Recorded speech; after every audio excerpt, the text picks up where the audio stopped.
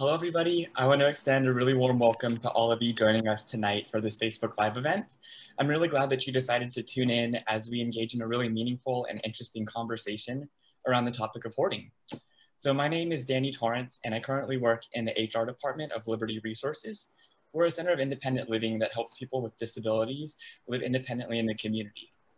Um, and I've had the privilege of working closely with JFCS over the last five years as a part of the Philadelphia Hoarding Task Force. So joining me tonight um, is Dara Leinweber. She's the Hoarding Program Coordinator at JFCS. We also have Jasmin Romero, Hoarding Care Manager, and Courtney Owen, Director of Individual and Family Services. And we have Deborah Bornstein, Director of Events and Donor Operations, monitoring our Facebook feed. So we really encourage you guys to send in any questions and engage with us throughout this conversation. And we'll take some time at the end to make sure that we go over your questions and continue the conversation. So our conversation tonight is really going to be a kickoff to an exciting web series that JFCS is hosting on the topic of hoarding. So before we dive fully into our discussion tonight, Courtney, do you want to tell us a little bit more about the web series? Sure. So every year with the Philadelphia Hoarding Task Force, JFCS partners to sponsor an annual conference. And this year, because of the pandemic, we're unable to do that in person. Therefore, we've put together a really great three-part web series, and we're featuring three really amazing speakers who have a long-standing history and knowledge and expertise in hoarding disorder. So we're starting it off with our September 11th um, speaker, Gail Steketee, and she's going to be talking to us about motivational interviewing and cognitive behavioral therapy around hoarding intervention. And then we're going to have Michael Tomlinson, who is talking to us about um, when is safe safe enough? Really talking about a harm reduction approach to hoarding. And then we're also going to be featuring um, our third speaker, Judy Batalion, who's going to be talking about hoarding, anti-hoarding, and the search for home as somebody who grew up in a hoarded home. So we're really excited about these three great speakers and we're offering CEUs. So join us for our web series. There'll be more information on our website and Facebook about that. Awesome. Thank you so much. Mm -hmm. So yeah, I figured at this point, let's go ahead and dive in. We have lots of great topics and questions to go over. And so for tonight, I figured this would maybe be a helpful starting place. I'd love to know why you think this is an important topic for us to cover tonight. Why should we talk about hoarding? Yeah, absolutely. Um, hoarding is something that really impacts a large amount of people in our population. We, we think about it um, or don't hear about it that often. It's not something that we normally talk about in our daily lives, but it impacts 2 to 6% of the population. So to give you some perspective, that's between 23 and 59,000 people in Philadelphia alone, just in the city of Philadelphia. So we think about that and how close people live together in high rises and apartments. Um, it has a huge impact on each other, and it also has an impact on the communities that they surround. Um, so that's one of the main reasons. Uh, another reason we want to talk about it is really to reduce the stigma. It's one of the key reasons that we talk about it. We provide education around it. Um, and we really just want to normalize it and create safe spaces so that we can um, encourage people to come out and share what their needs are, join our groups, have individual uh, services and supports through JFCS, it's such a huge thing um, to create these safe environments where people can really open up and talk about it, whether they're the individual who is impacted by hoarding disorder, they're the family members, maybe their neighbors, um, landlords, fire department, police. It really, it impacts so much of our communities that we want to talk about it and really um, provide the education so we know what to do, how to intervene, and who are local experts. Um, so those are some of the key reasons that we're talking about it. And I think uh, throughout this conversation, we'll keep talking about how important it is and, and how we can make a difference. Fascinating. Well, thank you so much. You know, and one thing that I've been thinking a lot about recently is uh, how hoarding disorder might be similar and different to some of the other mental health disorders. I was wondering if you could go into that a little bit more. How is it similar and how might it be different? Um, so Yes. So as far as um, similarities with other mental health disorders, um, hoarding disorder is classified as its own distinct issue as a mental health disorder, um, which is fairly new, starting in 2013 with the most recent DSM, the Diagnostic Statistical Manual. Um, so that just started in 2013 rather than being clumped in as um, a form of obsessive compulsive disorder. So this new recognition that this is a standalone issue that somebody can experience. Um, and I do want to talk about just briefly the, the five key components of hoarding disorder that are used to um, as the diagnosis. So the major, major um, criteria is difficulty discarding. There are strong emotions attached to discarding possessions. Um, the, and the next one would be an accumulation of possessions that prevent the normal use of space. So we're talking about um, not being able to use a bed or to cook on your stovetop or in your oven or other major um, uh, areas of your home that you would be using for other purposes because of the amount of possessions, you're no longer to use those spaces. Um, another criteria is the distress or impairment that the actual behavior leads to. So um, there has to be an actual, uh, really uh, somebody feeling negative, strong negative feelings about discarding, getting rid of their possessions um, and or an impairment like the, uh, not being able to use a bathroom not being able to invite friends and family or um, service providers or repair people into their homes. That's going to lead to a major just um, impairment. Um, and uh, other other criteria that are used is that it's not associated with another mental health disorder so they can exist at the same time somebody can experience, for example, um, bipolar disorder or uh, ADD, but the hoarding in itself um, is a standalone issue, and that's very important to remember. Um, and that it's not related to a medical issue. So we have situational hoarding that can occur. Say somebody comes home from a hip replacement surgery, um, and they may have a collection of items, but that collection I shouldn't say collection, um, that accumulation of possessions is a direct result of their inability to physically move their mobility at that point, um, not because of a deeper um, emotional issue, mental health condition. Um, so those are the major criteria. It's also important to remember that insight is very important. A lot of folks who suffer with hoarding disorder don't aren't aware that this is affecting their lives and they don't they're not aware that it's affecting the people around them the same way um, that the folks around them are seeing it or experiencing it and they've learned to cope so it's they don't see it as an issue um, so those are some major differences there um, from other mental health disorders. I would just add to that because of a lack of insight sometimes it can also impact motivation or where you start with the person. And so the treatment for hoarding disorder can often be lengthy um, and sometimes can be more intensive. And so we often ask that when people join our programs that they're really patient with themselves they're patient with their family members because it can be really time consuming and take a long time to work through this process it didn't happen overnight and you're not going to fix it overnight there is no quick fix. It's truly that mental health component and the pathology behind it that impacts us. And, you know, we're learning new behaviors to overcome that. And it takes time and it takes practice. And we often use the term like practice muscle that we got from the Buried in Treasures book. And it's so true. The more you practice it, the more you um, get better at working on those skills and thinking about it every day and stop focusing on the negative and start focusing on the positive. Yeah, that's really good to think about. And, you know, with both of your responses, like it's making me think how important it is to really focus on the person and not just the stuff. I'm thinking about hoarding as a mental health condition. Um, you can't just look at the accumulation. Uh, you have to really understand uh, the emotional component of hoarding too, right?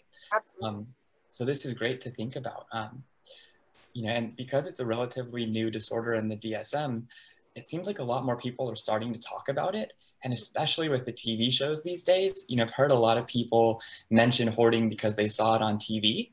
I'd love to maybe hear a little bit more from you. Um, what do you think the TV shows are getting right? How is that helpful? And are there ways that maybe the TV shows are miscategorizing hoarding? Or is there anything that it's getting wrong? So basically, um, what you've seen on TV, what they're getting right, um, a lot of the times you'll see um, those people um, have had some type of past trauma in their lives. Um, there's usually, you know, a story to go along with it that they kind of delve into.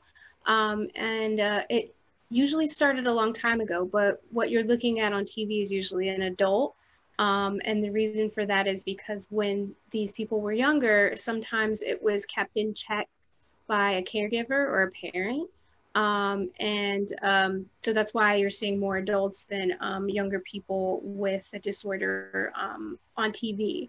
Um, another thing that the TV show is getting right, um, although it's kind of uh, they're they're creating awareness, but it's through bad publicity. But I guess you know, you know, getting awareness out there is still still good through the TV show. Some things that um, the TV shows that are portraying that are wrong.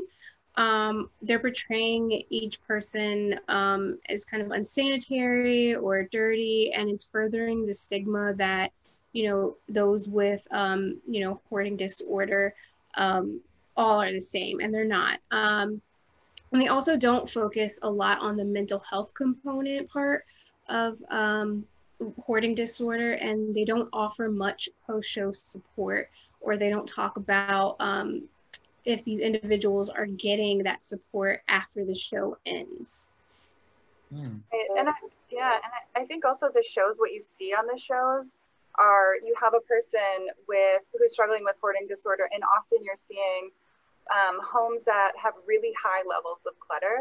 And then you're watching them do this process of, of what we call a clean out.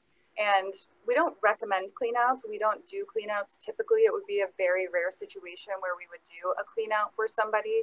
Um, that in, in and of itself can often be very traumatic for somebody, especially when they're done without the person present. On the show, the person is often there with family members or some other support. Um, and but nonetheless, cleanouts can be very traumatic. And usually, like 96% of the time, when you do a cleanout, the level of clutter will come back to the same amount or worse within six to nine months. So we don't recommend that. What we would do is teach the person um, a skill set through behavior, uh, cognitive behavioral therapy or some other um, harm reduction technique to really help them understand why am I hoarding? How can I sort through my things and help them work through it so that it's a long term solution rather than a quick fix that isn't going to help the longevity of the situation? I think when there are times when safety is really a huge component, and we see that a lot in our program because we serve older adults, um, that then we might do something that called a like a safety day where we would do a supported clean out and they would very much be a part of it. And, and it takes a lot of time to implement something like that, where we would work with the person and really have a solid plan for the day. They would very much be a part of it. And we would take breaks and check in and all of those things. Um, and, and that person would be on board with it. They would be a part of the process, part of the team to work with it.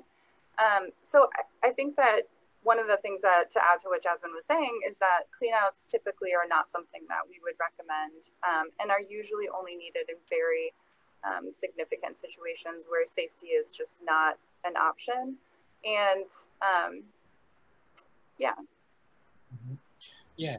And it seems like to really do meaningful work in the field of hoarding, it takes time and commitment and learning new skills and building trust and working as a team. Um, it's kind of a longer process where maybe just an hour long TV show can't quite capture, you know, all of the, the steps along the way. Yeah. Really support. Absolutely. And I think she touched on something else that was really important. Um, you know, a lot of times when you look at the show, think about it, they're they're approaching it for viewership. They want to kind of give you that shock factor. Um, so when you look at people with hoarded homes, they're not always uh, one to the level of clutter that they are in the show, and they're not always unsanitary. So you have sort of um, homes that are hoarded and homes that are unsanitary, and sometimes they overlap, but they don't always. So a hoarded home isn't always an unsanitary home. Um, sometimes it is, and sometimes it isn't. And so it creates this stigma that hoarding is dirty or unclean.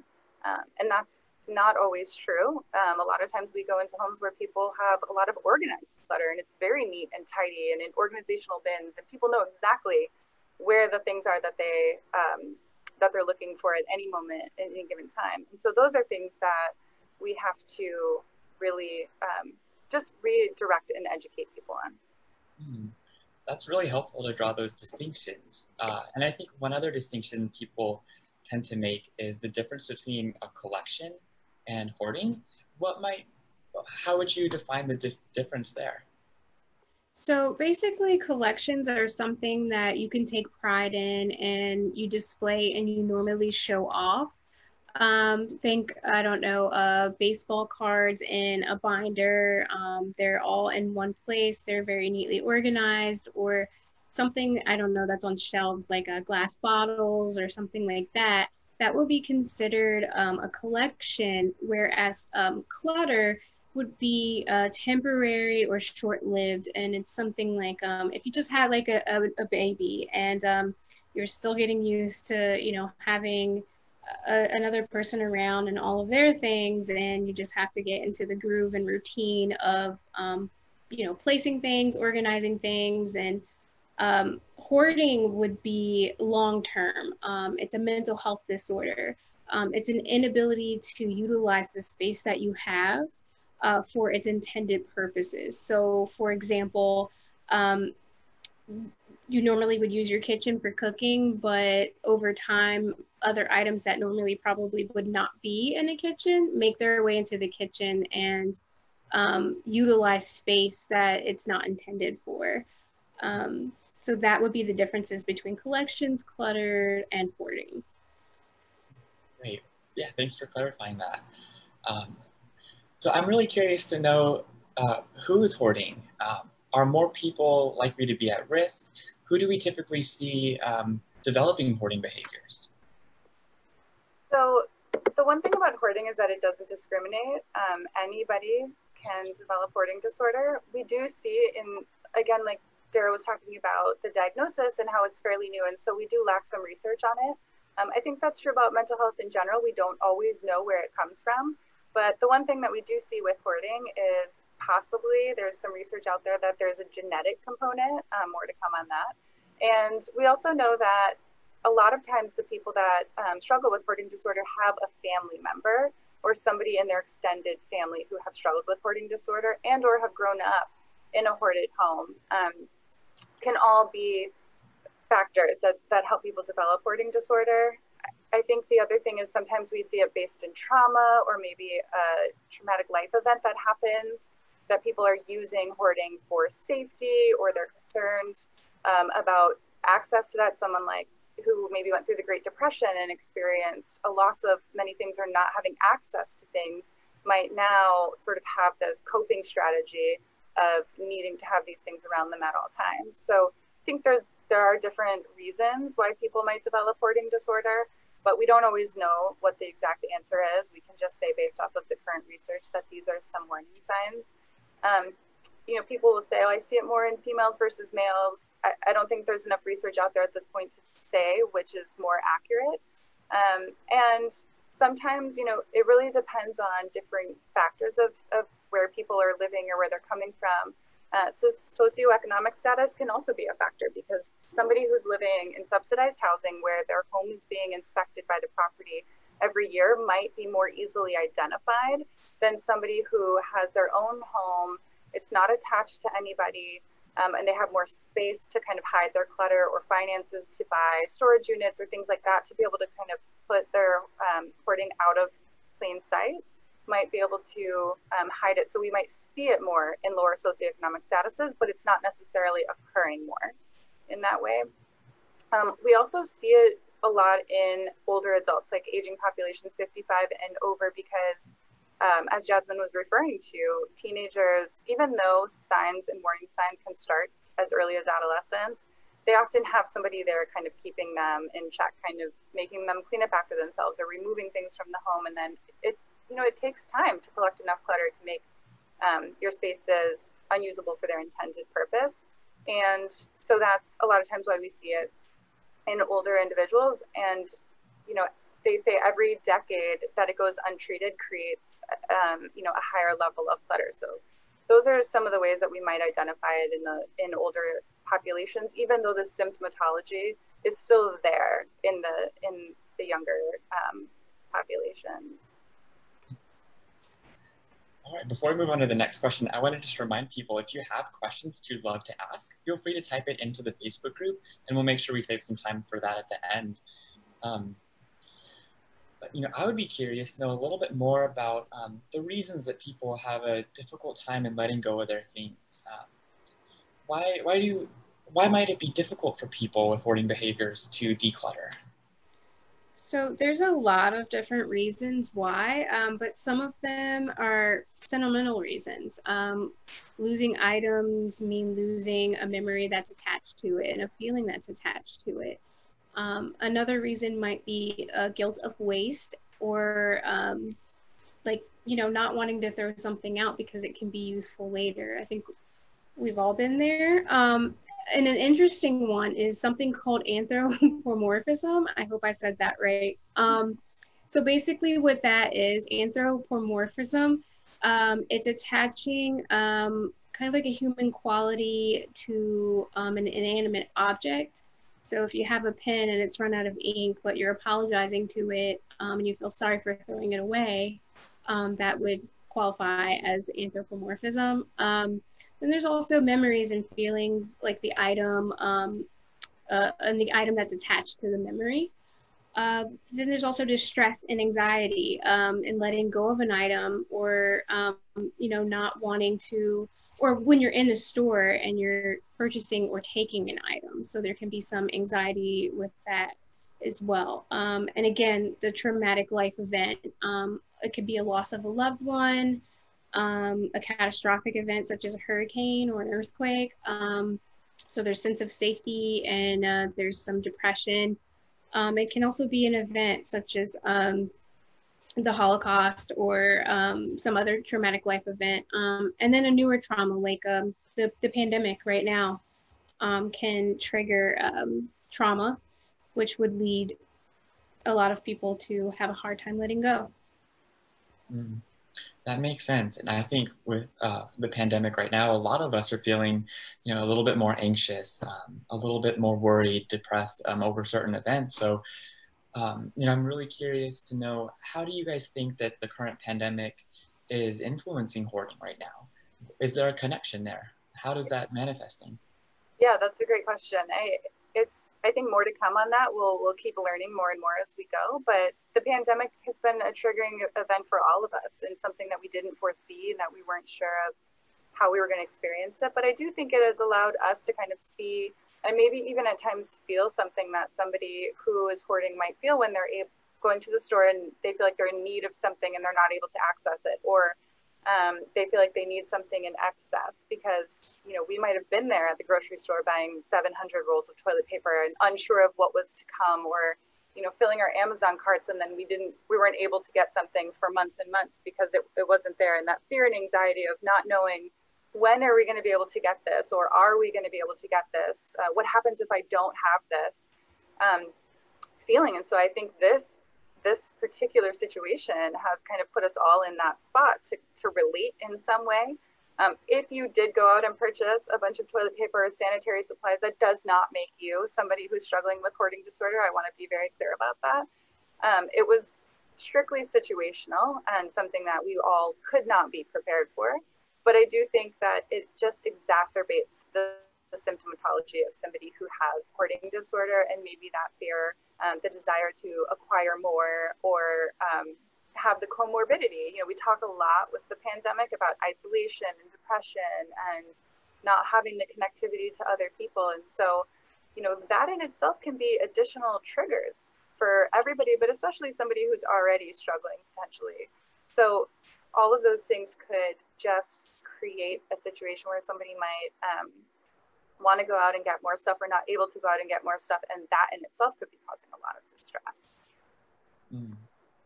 right yeah i can see where you know a lot of the current events um, you know can be interrelated with hoarding and uh, make it even more challenging for a lot of folks um, So yeah, this has all been really helpful to start understanding what hoarding is and learning a little bit more about it. I'd love to shift gears a little bit and talk about how can we help.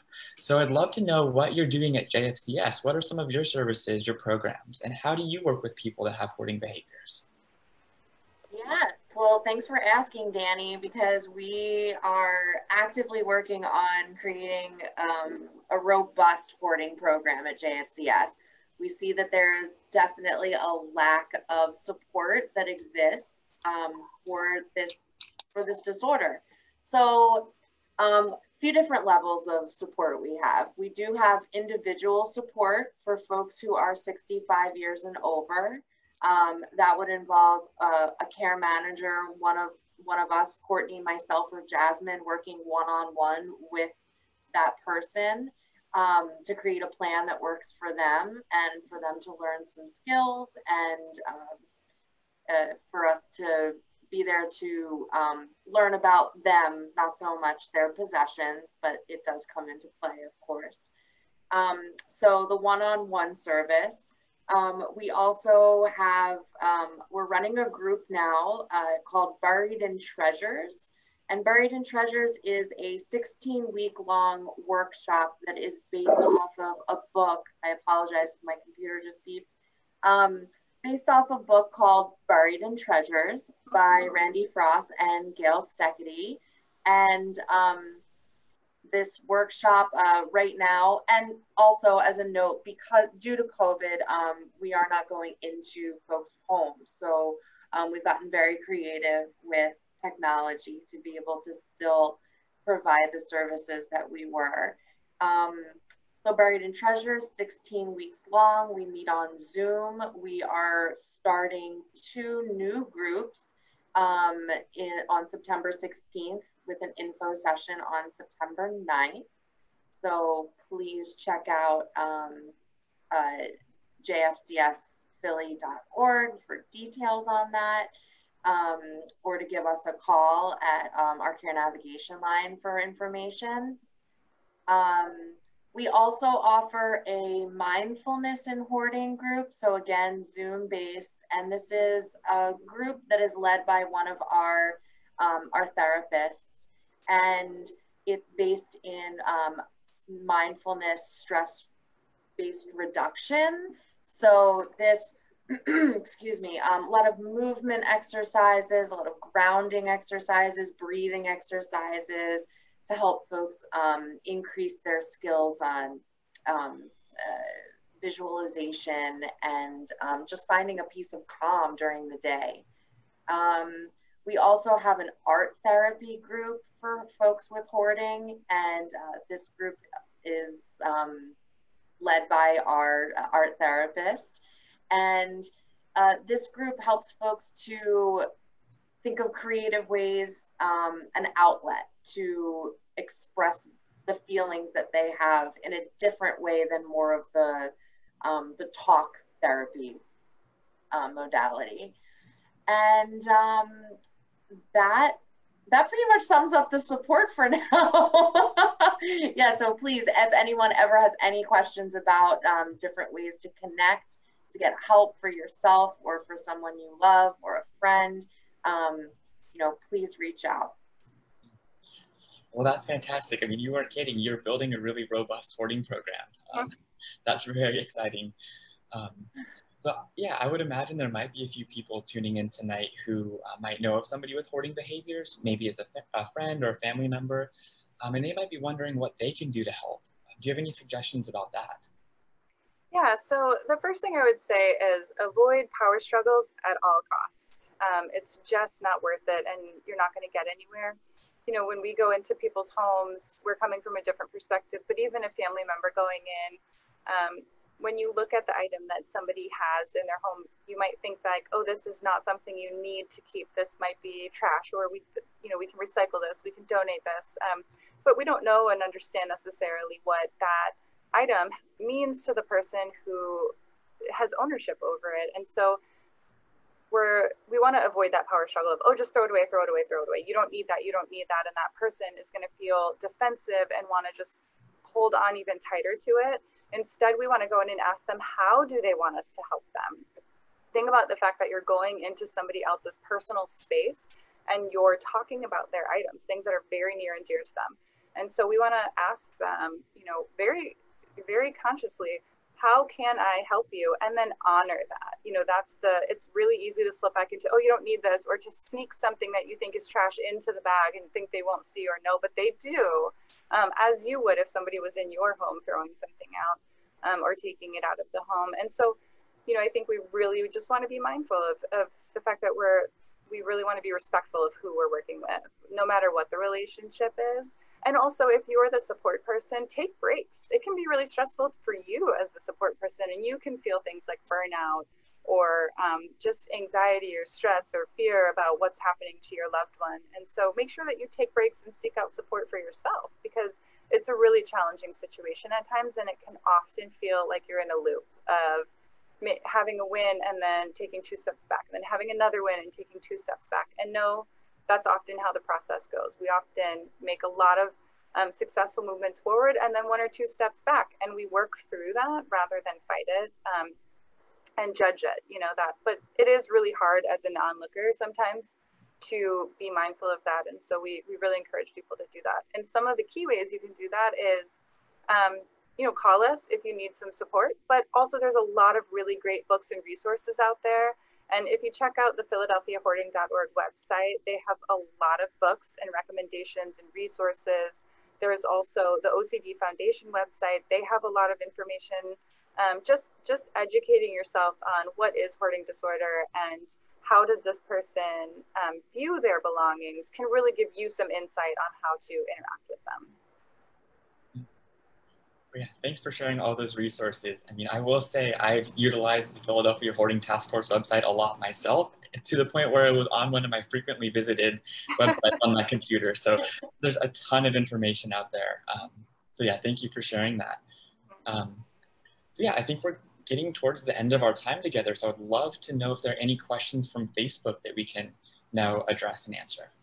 We are getting a lot of questions. I hope that we have time to hit all of them, but let's see how long the answers are. Um, the first question I have is a couple questions from folks who have people in their neighborhood who's who appear to be hoarding and it's you know fire hazards and whatnot for the nearby homes is there um, a resource or what should you do if that's happening near where you live yeah, so I'll start and then um, Dara and Jasmin can fill in. But, you know, it is tough. And one of the, the hardest parts about it is that people have the right to their own free will. Um, and so sometimes while there are ways that we can intervene, we can't always force treatment on somebody. And that makes it really challenging. Some of the things that you can do is call protective services if that person is putting themselves at risk or not. Um, or putting their neighbors at risk or their community, which is why we talk so much and try to provide so much education about hoarding disorder because it does it doesn't just impact the person who is living with it, it impacts the entire community, um, especially in a city like Philadelphia, where we live in row homes and high rises and apartment complexes, where if one person in the building is hoarding and a fire breaks out, it could be a really um, detrimental issue if if somebody then has um, an infestation issue or something of that nature, or an odor develops or something um, it's not just impacting them now, it's starting to impact their neighbors. So, you know, calling adult protective services for somebody who is under 60, calling older adult protective services for somebody who's over 60, and they can go out, assess the situation, and try to, um, you know, they're, an, they're more of an enforcement agency. We are not an enforcement agency. Um, you can also call 311. That's sort of like the number one step to make, and just keep making reports again, um, a lot of those calls end up going to places like older adult protective services or um, adult protective services. You know, those are some things you can also, um, one, just get more information for yourself so that maybe you could talk to that person and, and say, hey, I have some resources for you. Would you be interested? Because if they feel a connection or a trust and they don't feel judged, they might be more open to having the conversation about it. And that's a lot of times where we want to connect with that person because like Dara said early on, a lot of times people with hoarding don't have um, a level of insight where they're understanding the impact maybe that they have on themselves or somebody else. So we need to find that trusted connection where we can build rapport and then get them um, some sort of treatment or intervention. And there's a lot of, um, you know, therapists or services in the area, including ours at JFCS, that we can get people involved in. And just real quick to add to what everything Courtney just said, um, for neighbors concerned, um, just I know it's hard, um, especially when the clutter reaches the outside of the home. But try to remember, this is not something. If somebody is experiencing hoarding disorder, this is not something that they're doing intentionally to um, to to you. It's it's not a slight. It's not something they're doing out of spite. Um, it is something that they are probably very ashamed of, um, and just uh, to to try to dig dig in deep and be as compassionate as possible can really make a big difference. That is an incredible answer. Um, I have a, the next question I have is when is helping someone actually helpful and when is it enabling? Hmm. I can take a stab. um, okay, well, I would say that, uh, for instance, help versus enabling, um, one of the biggest things that pops into my head is if you are helping somebody pay for a storage unit, that's not really help. Um, it is more enabling because that, as we talked about before, the less that's in somebody's purview right in front of them, they're not seeing it. It allows them to continue the behavior. Um, so it, it is not um, very helpful. Um, help is uh, surprisingly enough just listening sometimes. Um, oh, what, what, and being patient um, trying to find professionals that have some experience with this disorder and know about it specifically, um, trying to get them connected uh, um, to a book or a workshop, helping them get connected to the technology to be able to participate in those workshops or um, if we're talking about an older adult, not that all older adults don't know how to use the internet, we know that you do. Um, but for folks out there that maybe you want to help your parent buy a book, you know, order it for them um, and have it mailed directly to their home. There are plenty of ways to be supportive um, without enabling. Um, I would also like to add that um, you could be enabling by when you realize that you're doing most of the work for them hands on or even um, just in discussion. Um, I find that now because we're not able to go into the home when we're having discussions with our clients, um, a lot of the time they'll ask, well, what do you think I should do? Um, and I think that you have to be really careful with that um, for many reasons. Um, and one of them being you want them to be able to kind of think, on their own as well and just kind of guide them, but not give them the answers that they're looking for or tell them, well, if it were me, this is what I would do because it's not helpful in the end. That's not what we're we're trying to do. So um, I think those are some ways that you know that could be enabling and not helpful. Yeah, I think that's a really key point because you know when we make decisions on the behalf of somebody else, that can sometimes come back in not a great way. Um, sometimes people might feel like we made the decision for them and they really wanted that item. And then what happens? They might be upset or miss it or regret it. Um, and we also want people to feel empowered to make the decisions and, and to work through it. it. It helps to build up that practice muscle. I love, I love that term. Um, the final question, um, we actually have two that are relatively similar, but I guess they're slightly different. One is if you have a family member that is um, you know, having uh, hoarding type behaviors. Specifically, a child. Do you have any special words of wisdom about that? Hmm. Specifically, a child. I think it's um, so when you see somebody, a child who might be, you know, having a really strong attachment to their items or their objects. Um, or maybe really strong reactions when if you throw something away that was theirs or you clean up and they can't find an item and then they're really upset um, and they miss that item, there are definitely ways that you can help that person. One is just to talk to them and find out like, what's going on? What was your feeling with that with that item? Um, tell me about that item. Where did you get it from? What does it mean to you? Um, so that way you can better understand what their attachment is. And from there, you know, it could just be ongoing conversations. Or it could be that you maybe reach out to somebody who specializes um, in child therapy and really connect them with someone so that they can better process it and help teach them skills. Because as we know, with all mental health disorders, the sooner you can get somebody help, the better their long-term outcome is going to be. So we always want to encourage that. Um, and it's really hard, especially if you're a parent or a family member with a child who might be struggling with something to, to disconnect the emotional side of yourself from that Mm. So I, I think always reaching out to getting more support. And, you know, again, you can always reach out to, to JFCS and we can help direct you to the proper places or to, to a good um, therapist or counselor for a child This has been great. I do have one more question, if we can squeeze one more in. The question has been specifically about food hoarding, if that is um, a type of hoarding, and um, I think they just wanted just some more information about that. And then that'll be our last question just because we're running out of time. Sure. So food hoarding, um, we see, we, we sort of refer to it as object hoarding. So you see object hoarding a lot more often than you see something like animal hoarding.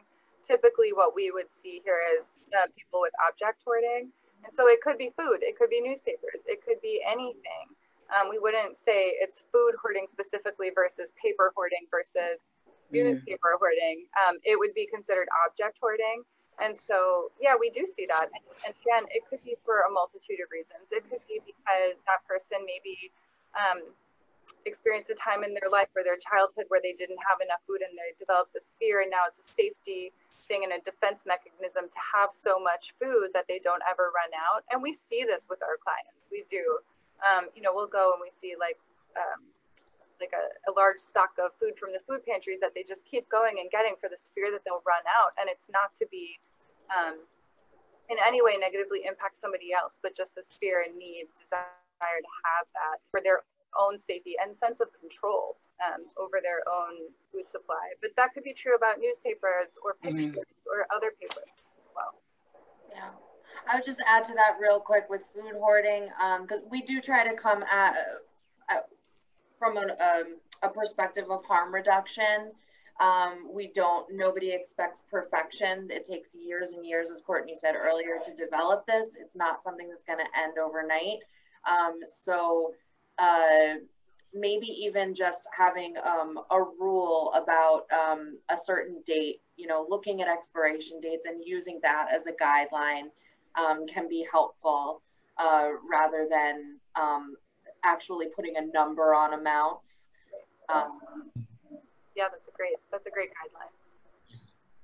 That's really helpful. Yeah, and I remember years ago um, when we were going through some training on hoarding that um, one recommendation uh, one of the researchers said was, "Is there anybody you can even reach out to that's in your support system if you're running low on food? Is there somebody in your network that can help bring you over a night's meal?" So I think kind of finding that support system can be really helpful too. Absolutely. Yeah. Well, this has been great. We have so many thank yous also in the comments. I just wanted to share that as well. So great. Well, thank you, uh, well, everybody on this call. Uh, we're so glad that you tuned in and that you were part of this conversation. Um, we hope you found it really enjoyable and interesting, and you can take a few nuggets away from this. And we do want to put in just a quick plug for uh, the web series that's coming up. So uh, you can find more information online. I think the URL is jfcsphilly.org slash from challenge to hope. Um, it's, in the, it's in the comments. The link is, I put the link in the comments oh. so anybody can find it.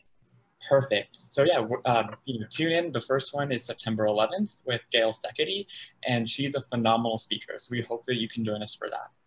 Um, so yeah, unless there's anything else, we'll go ahead and wrap up. Thank you all again, and enjoy your night and be well. Thank you. Thanks yeah. for watching, everyone.